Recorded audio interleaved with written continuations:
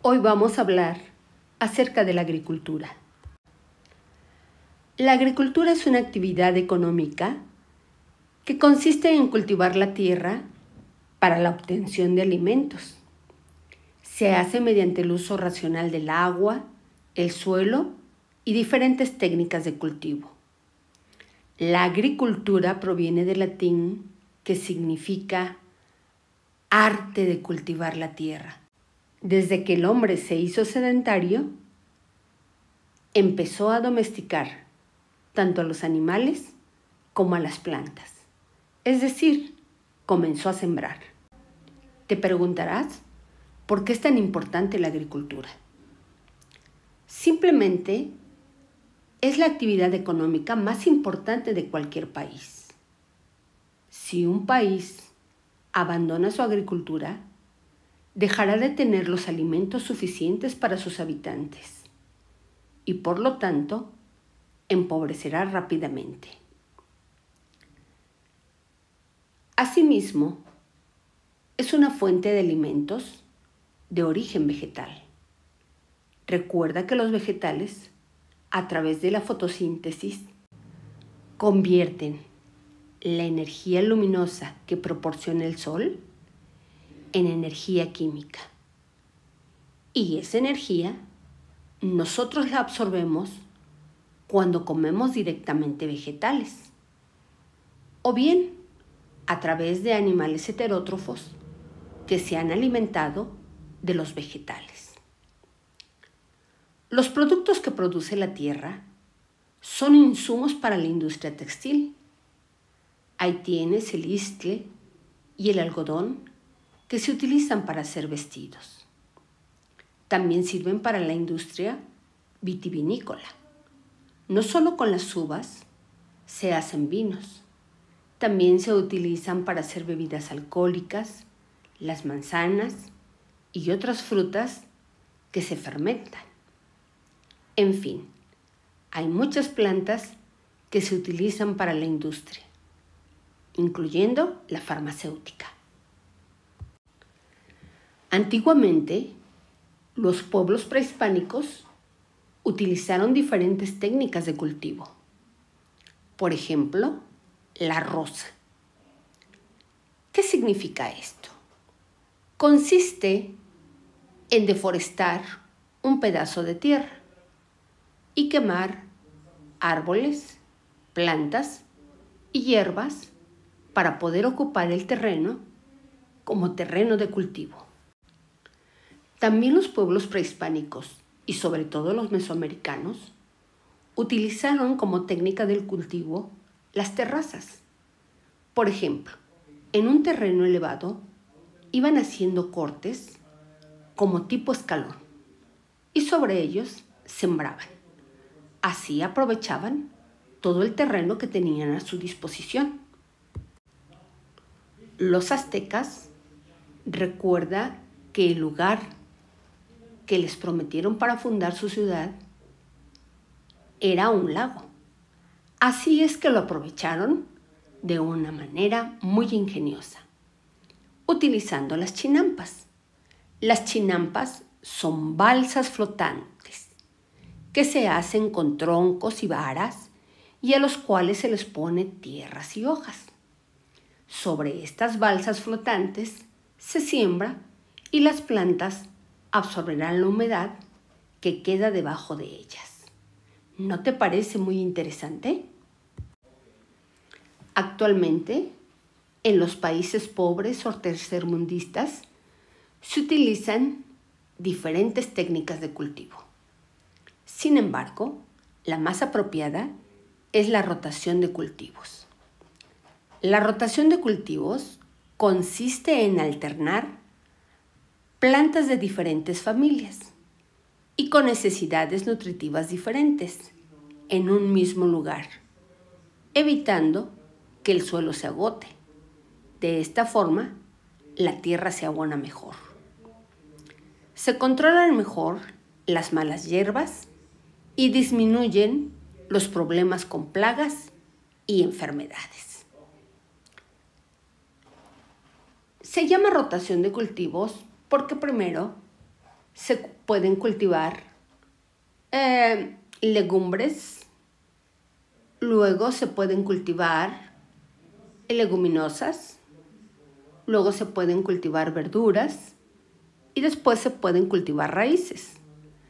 Cada una de estas plantas absorberá del suelo diferentes nutrientes y le dará tiempo a reponer los que consumió, de tal manera que el suelo no empobrece y la cosecha será abundante. En los países desarrollados se utilizan nuevas técnicas agrícolas. Por ejemplo, el invernadero, el acolchado, el arenado o la agricultura hidropónica. ¿Qué significa esto? En el efecto invernadero es un lugar cerrado que se utiliza para proteger a las plantas del exceso de frío. La técnica de acolchado, su objetivo es elevar la temperatura del suelo a fin de que las raíces tengan mejores condiciones y la planta logre un mejor desarrollo. La técnica de arenado. Esta consiste en colocar ceniza volcánica con un espesor de entre 10 a 12 centímetros. Retiene la humedad, protege a las plantas del sol y evita el crecimiento de las malas hierbas. También existe una técnica de cultivo llamada hidropónico. Esta utiliza una serie de tubos por donde corre un agua o una disolución, donde se mezclan minerales. Es decir, no se utilizan los minerales que están en la tierra, se utilizan los minerales que necesitan las plantas que se han cultivado. De esta manera crecerán mejor y la cosecha será más abundante. La agricultura moderna se caracteriza por hacer uso de la tecnología para hacerla más eficiente y productiva, tanto en cantidad como en calidad. Aunque quizá pueda parecer un concepto futurista, en muchos aspectos ya está presente en la rutina diaria de los agricultores. Existe maquinaria, por ejemplo, para poder cosechar y esta maquinaria, al mismo tiempo que va recogiendo el producto, lo va, va separando la basura y la va comprimiendo. Esta basura muchas veces se utiliza para el forraje de los animales. Es importante decir que aunque la tecnología nos ayuda en muchos aspectos, también ha desplazado la mano de obra del hombre. Pero bueno, tiene muchísimas ventajas. Entre esas ventajas está el que actualmente ustedes y yo podemos seguir trabajando para su beneficio y seguir progresando con la educación. Si no tuviéramos la tecnología, ¿qué haríamos durante esta pandemia que nos separa y que no nos permite estar juntos. La agricultura moderna busca ser productiva, pero también respetuosa con el medio ambiente a partes iguales. Por ejemplo, protege los elementos naturales que hacen posible la producción agrícola. Y esto es básico. Protege el agua, el suelo y la energía. Protección del agua. La conservación del agua. Aunque parezca paradójico, pues vivimos en el planeta azul, la disponibilidad del agua para su uso es limitada, ya que la mayor cantidad de agua es salada. Esta situación es crítica pues se trata de un recurso imprescindible, no solo en la agricultura, sino también en la industria, o en la producción energética y por supuesto en el consumo humano y de otros seres vivos, que moriríamos sin este elemento vital. Por este motivo, en agricultura se consume el 70% de todo el agua dulce disponible, es fundamental aprovechar cada gota.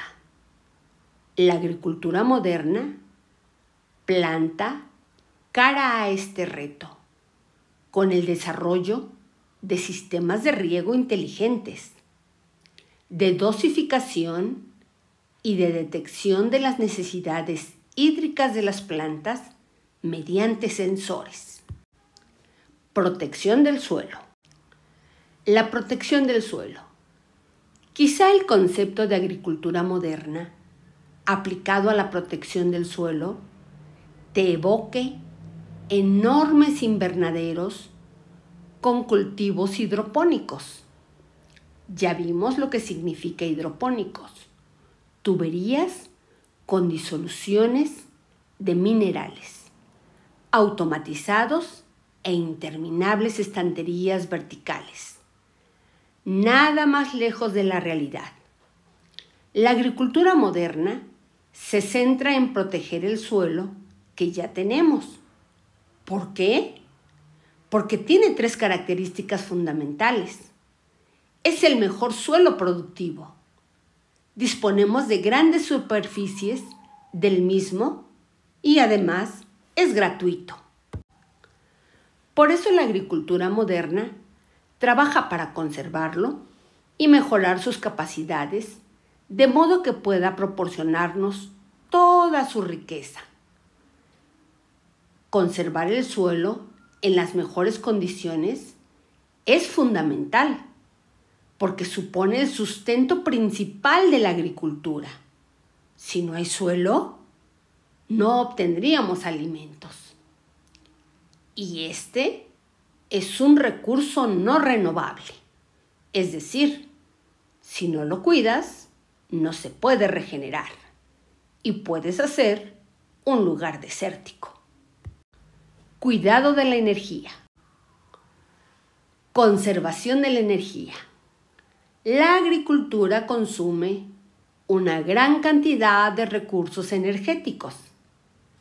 Estos son imprescindibles para regar, para fabricar fertilizantes o bien para la propia actividad de cultivar. Por eso, la agricultura moderna debe pivotar hacia formas sostenibles y limpias de utilizar la energía. Buenos ejemplos de ellos son el bombeo solar o los primeros prototipos de tractores eléctricos.